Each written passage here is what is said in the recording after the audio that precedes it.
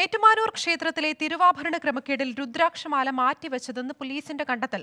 നിലവിലെ മാലയ്ക്ക് മൂന്ന് വർഷം മാത്രം പഴക്കം. ശാസ്ത്രീയ പരിശോധന നടത്തിയാണ് പോലീസ് നിഗമനത്തിലെത്തിയത്. ദിൽജിത്ത് സി ജിയുണ്ട് കോട്ടയത്ത് നിന്നും വിശദാംശങ്ങളുമായി ദിൽജിത്ത് ഇപ്പോൾ മാല മാറ്റിവെച്ചിരുന്നതാണ് എന്നാണ് പോലീസ് കണ്ടെത്തിയിരിക്കുന്നത്. മറ്റു വിവരങ്ങൾ എന്തൊക്കെയാണ്?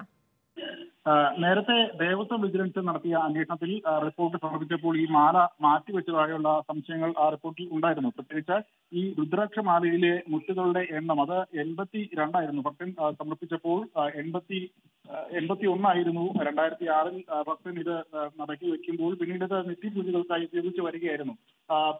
കഴിഞ്ഞ മേൽശാന്തി ചുമതല ഒഴിഞ്ഞ ശേഷം പുതിയ മേൽശാന്തി ചുമതല ഏറ്റെടുത്ത ശേഷം നടത്തിയ കണക്കെടുപ്പിലാണ് എഴുപത്തി ഒന്ന് മുട്ടുകൾ മാത്രമാണ് നിലവിൽ അവശേഷിക്കുന്നത് എന്ന തരത്തിലുള്ള കണ്ടെത്തൽ പുറത്തു വന്നത് തുടർന്നാണ് വ്യാപകമായ പരിശോധന നടത്തിയത്. ഈ വിഷയത്തിൽ ദേവസ്വത്തിന്റെയും പോലീസിന്റെയും അന്വേഷണം സമാന്തരമായി നടക്കുന്നുണ്ട്. നിലവിലെ മാല അതിന് മൂന്ന് വർഷം മാത്രമാണ് പഴക്കമുള്ളത്. അതായത് മുൻപ് ഉണ്ടായിരുന്ന നിത്യപൂജയ്ക്കായി ഉപയോഗിച്ചിരുന്ന രുദ്രാക്ഷ പതിച്ച സ്വർണമാല മാറ്റിയിട്ടുണ്ട്. അതായത് ഒരു മോഷണം എന്ന രീതിയിൽ തന്നെ നിലവിൽ സംശയം ഉയരുന്നു. ശാസ്ത്രീയ പരിശോധന നടത്തിയാണ് പോലീസ് ഈ ഒരു നിഗമനത്തിൽ എത്തിയത്. ഇതുമായി ബന്ധപ്പെട്ട നിലവിൽ മുൻ ക്ഷേത്ര മാനേജർമാർ മേൽശാന്തിമാർ അടക്കമുള്ളവരുടെ മൊഴികൾ നിലവിൽ രേഖപ്പെടുത്തിക്കൊണ്ടിരിക്കുകയാണ്.